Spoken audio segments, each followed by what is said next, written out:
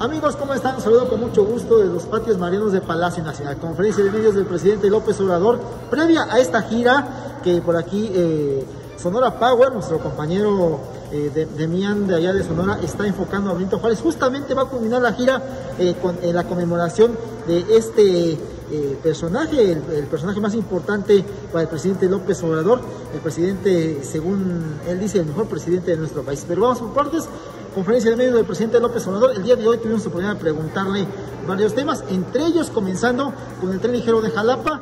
Eh, hace tres días el presidente López Obrador recibió en audiencia aquí en Palacio Nacional a Huitlao García, el gobernador de Veracruz, el cual le comentó temas de seguridad, temas de economía, obviamente, pero sin duda alguna ya está en el escritorio del presidente López Obrador el tema del tren ligero eh, de Jalapa, el cual todo parece indicar va bien en popa, se va a efectuar pero se busca que se concluya en dos años, no hasta 2025 como está programado por parte de la SCT, incluso va a haber consultas al respecto.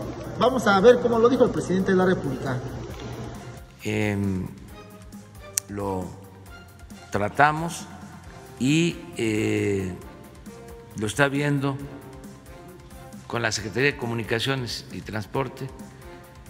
Es un buen proyecto, nada más que eh, se contempla terminarlo en el 2025 y es donde eh, hay dificultad, porque nosotros no queremos dejar ninguna obra en proceso. Entonces, eh, acordamos de que va a hacer consultas en la Secretaría de Comunicaciones para ver si el proyecto ejecutivo se tiene este año y a ver si es posible que en dos años,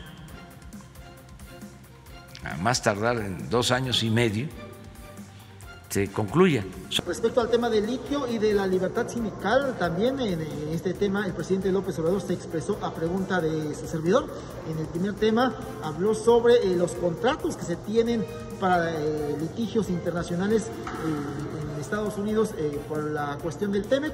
El presidente López Obrador incluso mostró un documento en el cual se revela cómo hay argucias legales para que bueno, pues, las empresas extranjeras se salgan con la suya. Y también en el tema de libertad sindical, el presidente López Obrador habló del posible aspirante que se tiene para la dirigencia de eh, lo que es el sindicato petrolero eh, que estaba en poder de Romero Chávez. En el tema del indio, también el presidente López Obrador habló del tema, reiteró que este se mantiene en estudio, hay que recordar que este podría beneficiar eh, a eh, entidades como Sonora, que está considerado junto con Chihuahua la reserva de litio más importante del mundo. En el caso de la comunidad Guarijía, que es la comunidad indígena más pobre del país, podría incluso pasar a ser eh, la comunidad más rica a nivel latinoamericano.